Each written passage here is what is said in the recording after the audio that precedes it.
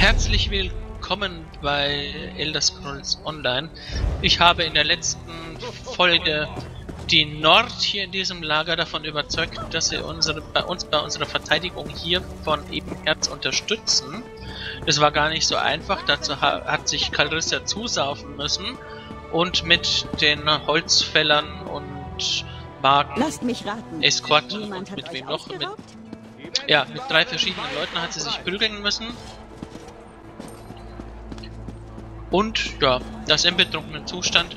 Und jetzt nehmen die Nordkarissa ernst. Die haben also praktisch Bruderschaft geschlossen oder Schwesternschaft, ganz wie man mag. Und wir gehen jetzt zur nächsten Baustelle. Mal gucken, wer da ist. Ich muss noch die Argonia und die. Dunkelelfen überzeugen, die Stadt zu verteidigen.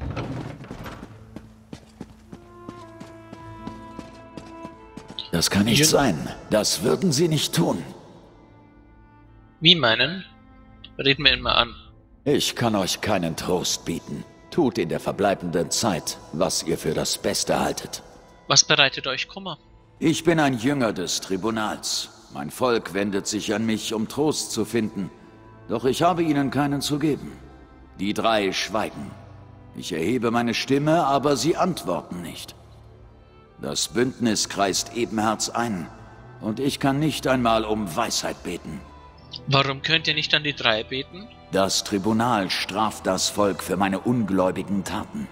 Die Schreine für Almalexia, Sotasil und Vivek sind von einem widerlichen Gestank und zornigen Alit umringt. Bitte, Reisende, tut, was ich nicht vermag. Verbrennt diese Blumen an den Schreinen. Dann betet für Ebenherz. Ich nehme all, wenn, wenn ich Morrowind gespielt hätte, das, äh, ich bin ja erst bei Oblivion eingestiegen, würden mir die Namen Almalexia, Sotasil und Vivek was sagen. Es, so habe ich die Namen zwar schon mal gehört, aber ich kann nicht wirklich was damit anfangen. Es muss echt äh, aus Morrowind noch was sein. Äh, wenn ihr Lust habt, könnt ihr mal in die Kommentare was dazu schreiben. Ich werde sehen, was ich tun kann. Verbrennt die Blumen an jedem der Schreine. Sie sind eine seltene Art der Goldkanett, die man Rolands Träne nennt und die den Dreien heilig ist. Ich bete, dass sie euch erhören. Irgendwie habe ich gerade das Gefühl, dass die Quest nichts damit zu tun hat, was wir gerade was wir gerade angefangen haben. Das ist wahrscheinlich noch eine andere Quest, aber gut, können wir ja eventuell mit erledigen. Klingt ja nicht sonderlich schwierig. Hallo. Hallo. Vielleicht können wir die auch in dieser Folge mit erledigen. Das ist wahrscheinlich eine kleine Quest, eine Mini-Quest mit 72 Erfahrungspunkten oder, oder Gold oder was, keine Ahnung.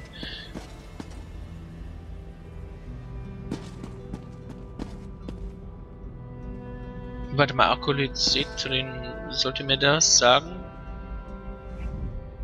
Geht mit dem Segen des Tribunals. Im Namen des Fürsten, der Mutter und des Zaubermeisters. Und mit deinem Geiste. So, äh. Überzeugt die dunkle Elfen. Ja, das war eindeutig der falsche. Zum Großen. Gibt es noch. Äh, sage mal. Die Schreine liegen außerhalb der Stadt, im Norden, Südosten und Ach so, Südwesten. okay. Viveks Schrein ist auf der anderen Seite des Flusses, südwestlich von Ebenherz. Der von Almalexia befindet sich im Südosten.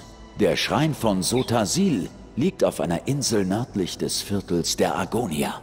Und Vielleicht hat das doch was damit zu tun. Wir machen das gleich. Was soll ich an den Schreinen tun? Verbrennt die Blumen an jedem der Schreine. Sie sind eine seltene Art der Goldkanett, die man Rolands Träne nennt und die den Dreien heilig ist. Ich bete, dass sie euch erhören. Und tschüss. Ja, doch, irgendwie scheint das damit zusammenzuhängen. Dann tun wir das Wie mal. können sie so viel trinken, ohne umzufallen? Ja, äh, die fallen dann schon um. Da muss man nur ein bisschen mit der Waffe nachhelfen. Hallo. Dann fallen sie schon um. Die Nord, wenn sie betrunken sind.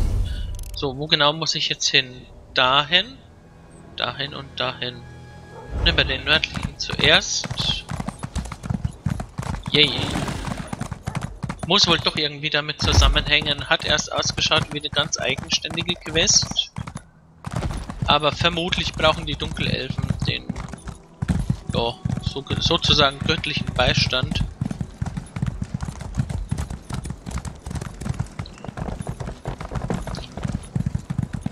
Mal eben Herz aus dieser Perspektive anschauen.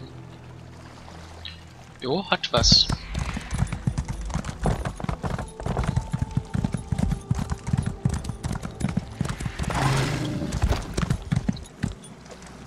Akolytin. Moment.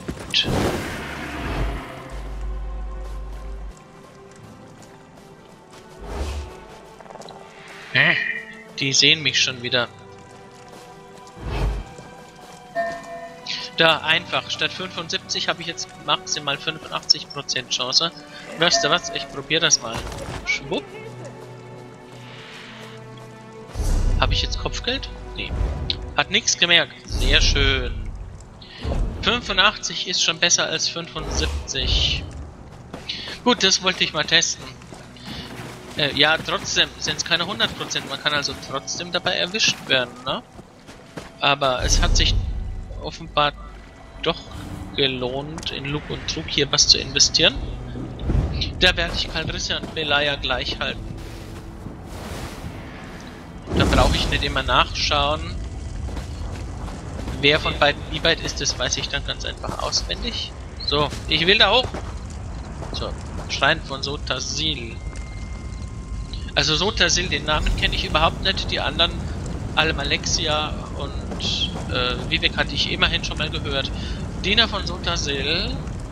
Sprecht. Sildras möchte wissen, ob das Tribunal seine Gebete erhört. Alle Gebete werden gehört, doch nicht alle werden erhört. Wollt ihr damit sagen, Sotasil ist es gleichgültig? Jedes kleine Rädchen treibt ein größeres Getriebe an. Jedes Teil ist nötig. Sonst bräche das Ganze zusammen. Wenn ein Rädchen unter seiner Belastung erzittert, so spürt dies der Uhrmacher. Doch er erlegt keinem Rädchen mehr auf, als es aushalten kann. Und ja, vielleicht klärt uns das Spiel sogar selber auf, wer das ist. Wer ist Sotasil? Zaubermeister, Mystiker, Herr der Stadt der Uhrwerke, Architekt der Zeit und einer, der das Reich des Vergessens bindet. Der Meister jener Werkzeuge, die bislang jeden gemeistert haben. Stellt euch diese Antwort zufrieden? Jetzt stellt sich mir sogar noch mehr Fragen. Na klar Gut. doch. Sucht, lernt. Wenn ihr bereit seid, sucht den Meister auf. Er wird daran interessiert sein, eure Schlussfolgerungen zu hören. Und tschüss. Also, jetzt haben wir erfahren, es ist scheinbar irgendwie so, so, so eine Art Gottheit für Magier oder so, wenn ich das richtig verstanden habe. Ich bin mir aber nicht sicher, ob ich das richtig verstanden habe. Ist ein großer Unsicherheitsfaktor. Sag mal, diese Blumen sind doch bestimmt auch questrelevant, oder? Irgendwie stechen die so hervor, als sollte man die irgendwann mal sammeln. Mein neues Flammenross. Ich komme vor wie einer der Reiter der Apokalypse. Da gibt es so ein Gemälde, ich glaube von Albrecht Dürer war das. Das muss ich mir mal auf dem Laptop herholen. Moment, das will ich gerade wissen. Ja, ich habe das Bild Reiter der Apokalypse jetzt am Laptop. Doch schaut irgendwie, also ist kein Gemälde, sondern ein Stich. Ich dachte, es ist ein Gemälde. Naja, man kann ja nicht alles wissen. Irgendwie kommt mir mein Ross durchaus so vor wie das, was man da sieht. Nur dass man auf dem Stich jetzt keine Flammen oder so, keine Flammeneffekte sieht.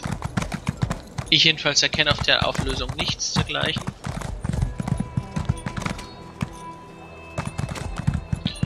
Äh, was wollte ich jetzt? Achso, ich Denk wollte daran. zu den anderen Schreinern. Derjenige mit der schnellsten Klinge legt die Regeln fest.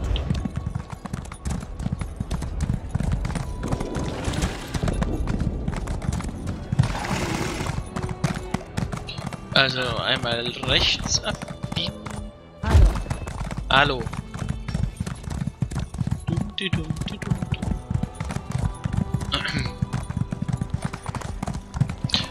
Ja, ich muss irgendwie schauen, dass ich Diebeskunst auf Level 7 kriege, damit ich noch einen Punkt da einsetzen kann in Taschendiebstahl. Dann dürfte es schon zu 95% gelingen. Wenigstens einfache Taschendiebstahle. St- Stab- Taschendiebstahle, Taschendiebstähle.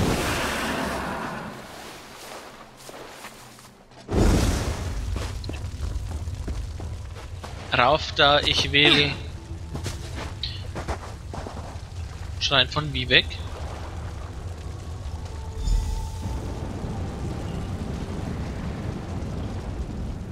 Ich komme im Auftrag meines Herrn. Oder vielleicht war ich auch schon immer hier und euch fehlte nur die Fähigkeit, mich zu sehen. Jünger Sildras wundert sich, weshalb das Tribunal schweigt. Taten sind überzeugender als Worte. Ein erfahrener Poet sorgt dafür, dass andere zur rechten Zeit am rechten Ort sind, um so die eigenen Wünsche und Sehnsüchte zu erfüllen. Doch die Frage, die Sildras gestellt hat, ist nicht die Frage in seinem Herzen. Und wie lautet die Frage in seinem Herzen? Ein Mann der vergifteten Worte säte Zweifel in Sildras Herz. Er sagte, der Poet sei dem unterlegen, was er einst war. Sagt dem Jünger, dass Viveks Worte, sein Verstand und seine Kriegsführung so scharf sind wie eh und je. Was ist Vivek auch jenseits dessen? Ich ahne schon, wer der Mann der vergifteten Worte ist. Derselbe, der auch schon bei den Nord versucht hat, das Holz aufzukaufen, damit sie verschwinden. Wer ist Vivek? Vivek ist ein Kriegerpoet. Die ruchlose und doch edle Seele seines Volkes. Er führt und beschützt alle. Sein Auge und seine Zunge sind scharf. Weit reicht sein Einfluss. Noch weiter sein Speer. Wie kann jemandem aus Morrowind eine solche Frage über die Lippen kommen? Ihr scheint überrascht, dass ich frage. Die Lehren von Vivek liegen neben jedem Bett. Viveks Psalme werden von den Lippen jeder Jungfrau geseufzt. Die Weisheit des Poeten macht sein Volk so unnachgiebig, fähig und beständig wie ihn selbst. Jeder kennt Vivek, denn so hat er es bestimmt. Also eine Gottheit für Krieger, so wie es ausschaut. Dann werden, wird jetzt wohl einer für Heiler kommen, oder was haben wir denn noch? Oder für, für Schurken? Für Schurken haben wir noch keinen gehabt. Krieger, Magier, weil Heiler sind im Grunde auch Magier. Wenn man es Seid genau nimmt. gegrüßt. Ja gut, Templer, ich weiß nicht. Man kann ja hier auch Templer spielen. Das sind ja bessere Heiler als Magier-Heiler mit Heilstab. Da weiß ich nicht so recht, soll ich die als Krieger oder als Priester oder, oder als Magier, keine Ahnung, wie ich die einordnen soll. Hallo, da will ich gar nicht hin. Ich will da Zum hinten hin. Grüß dich auch. Oh, da gibt's neue Nebenquests. Da gibt's genug zu tun für mich.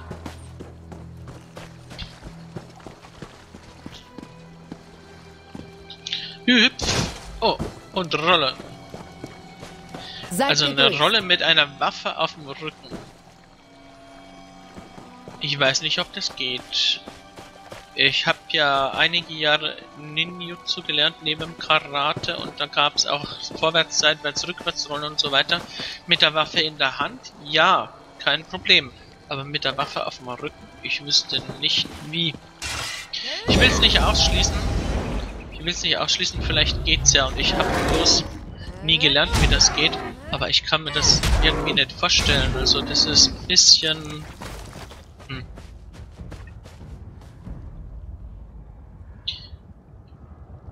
Äh. Technisch betrachtet ist es also so, eine ordentliche Rolle macht man schräg über den Rücken. Also so wie das Schwert jetzt gerade am Rücken liegt, sollte ich rollen. Oder also von über die linke Schulter zum, zur, zur rechten Hüfte. Vielleicht. Rollt ihr über das Schwert? Sorry, die Frage ist jetzt wichtig für mich. Für euch wahrscheinlich eher marginal, aber über den Schwertgriff kann, kann man nicht rollen. Das ist definitiv Fakt. Ich bin gerade mal überlegen, ob man über die linke Schulter rollen könnte.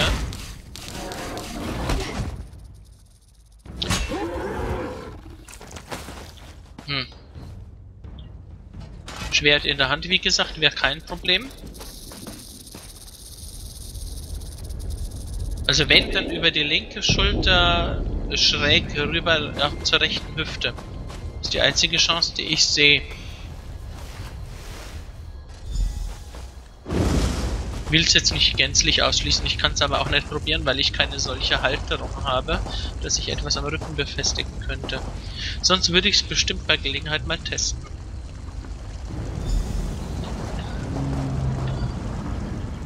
Meine Herrin Almalexia trägt euch auf, eine Nachricht zu Jünger Sildras zu bringen. Wie lautet die Nachricht? Das Tribunal lässt sein Volk nicht im Stich. Genau wie Eltern ihre Kinder vor Gefahren schützen, die sie nicht verstehen, schützen die drei die Dunmer vor Bedrohungen, die ihren Verstand übersteigen. Irgendwie kommt mir den ein bisschen vor wie Nocturnal. Ist dann noch etwas? Sagt ihm, dass meine Herrin sich seines Zweifels und seiner Furcht bewusst ist. Doch keines von beiden ist eine Schande, wenn er weiter anderen beim Tragen ihrer Lasten hilft. Wenn er anderen hilft, wird das seine Ängste lindern. Doch wenn er seine Verzweiflung weiter verbreitet, wird ihn meine Herrin züchtigen. Und wer ist Alma Almalexia? Ah, ihr seid das Kind, dessen Seele gestohlen wurde. Meine Herrin sorgt sich um euch. Almalexia ist die barmherzige, heilende Mutter der Dunmer. Sie wird von allen Mitgliedern des Tribunals am meisten geliebt. Also eine Heilerin. Hm, dann werden wahrscheinlich die Diebe zu, zu Vivek beten, oder? Das kann doch nicht alles sein. Ich bin nur eine Dienerin und Gesandte meiner Herrin, keine Lehrerin oder Priesterin. Sucht die Tempel und Bibliotheken auf, um mehr zu erfahren. Vielleicht könnt ihr zur rechten Zeit auch mit Almalexia selbst sprechen. Vermutlich sogar. Das ist wahrscheinlich eine typische Sache des Ebenherzpakts, weil Almalexia, Vivek und den anderen Namen kann ich mir nicht merken, Nun, sind mir in den anderen Gebieten nirgendwo begegnet.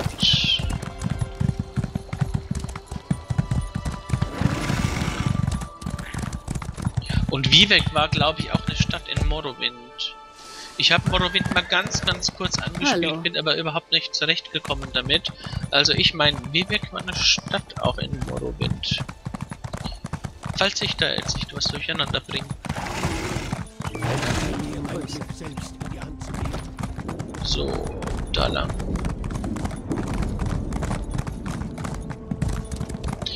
Morrowind hat ja heute noch eine riesen Fangemeinde. Wahrscheinlich entgeht mir sogar was dadurch, dass ich es nicht spiele oder nicht gespielt habe. Aber ich komme einfach nicht zurecht mit dem. Spiel. Was habe ich mir nur gedacht? Ich bin schon Das beim ersten Aufgabe Gegner abgekackt und das war irgendwie so eine lumpige Made, so eine Larve. So eine. Ja, ich weiß nicht, wie die heißt. Ich kann den Segen, der auf euch liegt, spüren. Das ist eine Macht, die ich selbst seit vielen Jahren nicht mehr gefühlt habe. Ich soll euch Trost spenden, Almalexia behütet uns, verlässt sich darauf, dass ihr ihren Kindern beisteht. Ich. Äh, ich verstehe. Ich hatte nicht bedacht, dass es ernstere Bedrohungen gibt als die Invasion des Bündnisses. Man würde meinen, ich sollte das doch wissen, denn schließlich ist Kalthafens verräterische Ader uns nur allzu gut bekannt. Was ist mit Sotasil? Sein Gesandter sagte mir, er wisse, dass ihr stark genug seid, um eure Aufgaben zu bestehen. Scham erfüllt mich. Die drei haben mehr Vertrauen in mich gezeigt als ich in sie. Ich wage es kaum zu fragen, aber was ist mit Fürst Vivek? Er meinte, ihr solltet euch keine Gedanken über eure wahren Sorgen machen. Dass er nicht da ist, das ist, was er einst war. Hä, wie bitte? Den Satz verstehe ich nicht. Er meinte, ihr solltet euch keine Gedanken über eure wahren Sorgen machen, dass er nicht das ist, was er einst war. Habe ich nicht kapiert, muss ich vielleicht auch nicht. Ja, ich hätte es wissen sollen. Vivek ist der raffinierteste der drei. Es ist wahr, ich habe einem Dunmer Rat erteilt, der an seinem Glauben zweifelte. Er erzählte mir, das Tribunal verliere an Kraft. Hatte dieser dunkle Elf irgendwelche Beweise dafür? Auf den Namen bin ich gespannt. Nur indirekt. Wir sehen jedes Jahr weniger von den dreien. Sie unternehmen nicht länger ihre alljährliche Pilgerreise zum Roten Berg auf Wardenfell und niemand weiß warum. Es Wa- schien alles so überzeugend, als er es sagte. Wartenfell muss auch in der Provinz Morrowind sein. Wie lautet der Name dieses dunkle Elfen? Er heißt Ravil Urano. Er ist seit Tagen nicht mehr Aha. zum Gebet gekommen. Ja, Er war so verzweifelt. Ich glaube, er hat sogar das Waschen aufgegeben. Als ich ihn das letzte Mal sah, stank er schrecklich, wie frische Eingeweide. Hm, Vielleicht ist er untot. Interessant, die Bestien um die Schreine herum wurden von aufgehäuften Eingeweiden angelockt. Aha, ist mir gar nicht aufgefallen. Aber wieder Ravil Urano, ne? Der hat, der ist bestimmt auch, Was? Moment. War ich solch ein Narr? Ich habe aus den fadenscheinigsten Gründen an meinem Glauben gezweifelt und so auch in anderen Zweifel gesät. Ich habe viel zu tun, um diesen Fehler wieder gut zu machen. Ich wünschte, ich wüsste, warum Ravil Uranos Worte des Zweifels so überzeugend waren. Quest abschließen. Okay. Überzeugt die Dunkelelfen. Dann würde es mich überhaupt nicht überraschen, wenn auch bei den Argonern wieder dieser Urano die Finger im Spiel hätte und da irgendwas sabotiert hätte. Werden wir sofort überprüfen. Und es kommt auch noch in diese Folge rein. Ich will da nicht splitten. Die Folge ist in ungefähr 10 Minuten voll. Aber wie gesagt, Hallo. ich teile das jetzt nicht. Weil sonst sind vielleicht 5 Minuten in der nächsten Folge über das Thema drin und das glaube ich ist schlechter Stil, das versuche ich zu vermeiden. Warte mal. Vermeiden. Überzeugt die Argonia. Ja, und da geht es irgendwie um den Mord an einem Baum bei den Argonien. Da bin ich mal neugierig. Was Argonien überhaupt mit Bäumen zu tun haben, das äh, hätte ich jetzt eher von den Waldelfen erwartet, solche, solche Geschichten.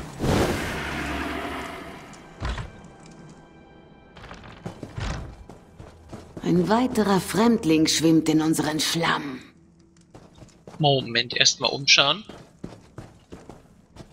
Ey, die sind was wert, den nehme ich mit. Die sind mehr wert als das übliche Zeug, was man so findet. Das kommt mit. Da kriege ich meine Erfahrungspunkte allerdings erst, wenn ich das Zeug bei einem Hehler abgebe. Kann ich nicht. Gibt's denn noch was zum Abgreifen?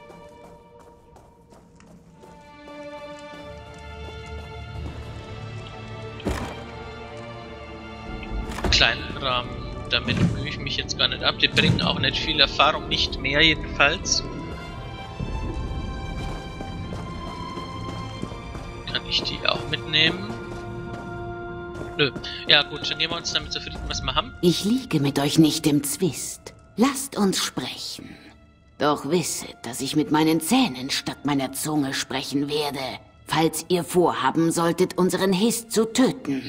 Ach, um den Baum geht's, um den Histbaum. Okay, dann verstehe ich die Sorgen. Was stimmt nicht mit dem Hist? Er stirbt. Gesund war er nie. Wir sind schließlich nicht in der Schwarzmarsch. Und deshalb ist er über die letzten Wochen verdorrt. Wir haben erfahren, dass Haus Dres ihn vergiftet. Es reicht ihnen nicht, dass sie uns über Generationen als Sklaven hielten. Jetzt wollen sie uns auch noch unsere Herzen herausschneiden. Und was kann man tun, um, um euren Hist zu retten? Das Einzige, was wir tun können, ist ihn zu düngen. Wir benutzen Krabbenfleisch, das in Aschenschilf gewickelt wurde. Beides findet man hier in diesem Viertel recht oft. Wir haben auch Wachen um den Baum aufgestellt, um die Dunmeer fernzuhalten. Ich werde etwas Dünger für euch sammeln, also Wenn ihr wahrscheinlich. uns helfen wollt, sammelt die Gegenstände, um die ich gebeten habe. Aschenschilf wächst in den gezeiten Becken in unserem Viertel. Und Schlammkrabben leben an der naheliegenden Küste. Sammelt ein paar Exemplare von beidem und legt sie an die Wurzeln unseres Hists. Jetzt wird's interessant. Wer hat euch erzählt, dass die Dunkelelfen den Hist vergiften? Das war bestimmt dieser Orano oder wie der heißt. Einige von unserem Volk haben gehört, wie ein Dunkelelf mit anderen seiner Art gesprochen hat. Er fragte sie, ob sie gesehen hätten, wie die Drehs zu unserem Hist gerudert sind. In ihrem Boot hat er Krüge voller Gift gesehen. Das ist nicht schwer zu glauben. Und wer war dieser dunkle Elf? Ravil Urano. Hab ich's doch gewusst. Meine Leute belauschten ihn in der Herberge. Er war betrunken und redete viel zu laut. Doch keiner sprach ihn direkt an. Es ist nie klug, als Agonia einen Dunkelelfen zu reizen. Insbesondere in jüngster Zeit. Wir sind hier sehr fern von Schwarzmarsch. Mit dem werden wir uns wohl noch anlegen müssen, mit diesem Ravil Urano.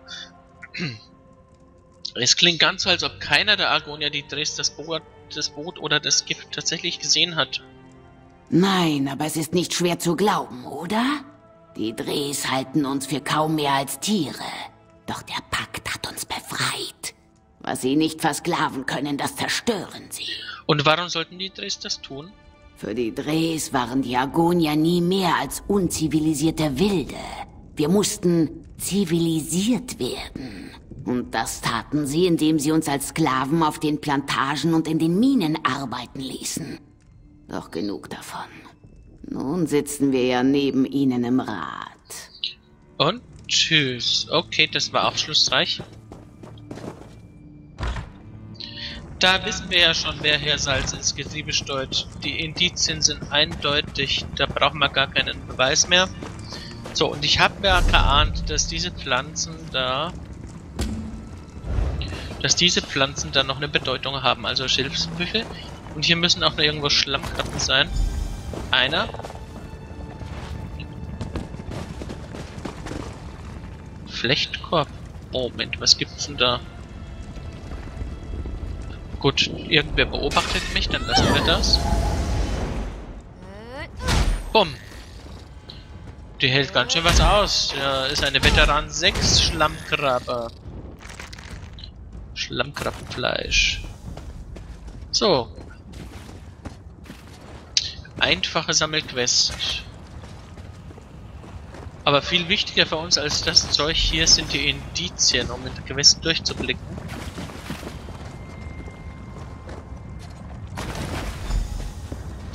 Und eins noch, da ist auch gleich noch eine Schlammkrabbe.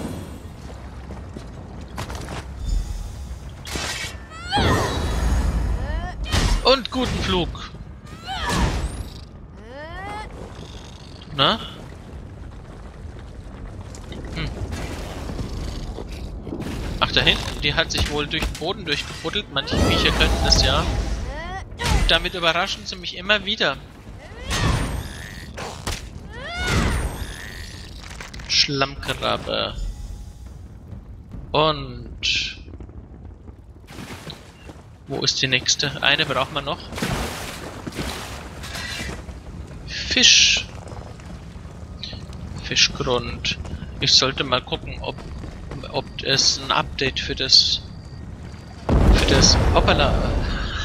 Mit Kanonen auf Spatzen geschossen. Und das Viech hat das auch noch überlebt. Meine Gott, eine Ultimate und die Schlammkrabbe überlebt das. Ist das peinlich. Also die Ultimate ist echt ein bisschen schwach. Halt! Was habt ihr da? Niemand darf sich dem Histbaum nähern. Besonders keine Fremden, die behaupten, uns helfen zu wollen. Wir haben gerade einen Dunkelelfen erwischt, der den Baum vergiften wollte. Ich habe nur die Zutaten, um die ihr gebeten habt. Eure Worte riechen gut, aber die Wahrheit liegt im Geschmack. Wollen wir mal sehen, was ihr da habt? Nur Krabbenfleisch und ach, Aschenschilf. Ja, ich zeige euch die Schuppen der Entschuldigung. Während ihr fort wart, haben wir einen Dunkelelfen gefangen, der unseren Hist entweihte. Bitte setzt den von euch gesammelten Dünger am Fuß unseres Hists ein. Solange ich bei euch bin, werden euch die Wachen durchlassen.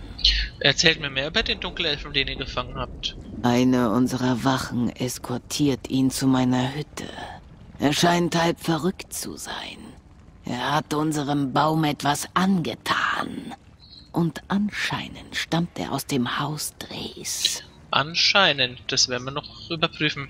Lasst uns jetzt zum Baum gehen. So, düngt den Histbaum.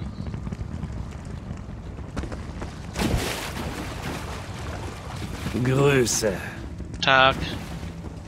Histsetzling benutzen. Es ist vollbracht. Trefft mich in meiner Hütte. Jo, dann tun wir das. Hallo. Das mache ich noch in dieser Folge. Und wahrscheinlich geht die Quest doch noch ein bisschen weiter, aber das hier tun wir noch in die Folge rein, damit die Infos beisammen bleiben.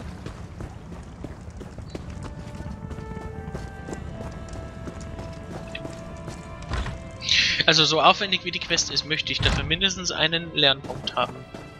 Schürt nicht meinen Zorn. Äh, Moment, wenn ich deinen Zorn schüren soll... Dummti dummti dumm. Moment. Ah, ich kann das Ding doch aufheben. Mhm, Gerade ging's doch. Hallo. Ich will das da mitnehmen. Kann ich da hoch?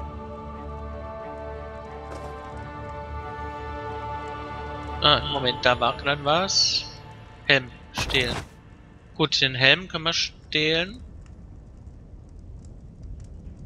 Und dieses Messer dann nicht. Hoffnung scheint mir ein törichtes Hirngespinst. Ja, egal. Lassen wir das.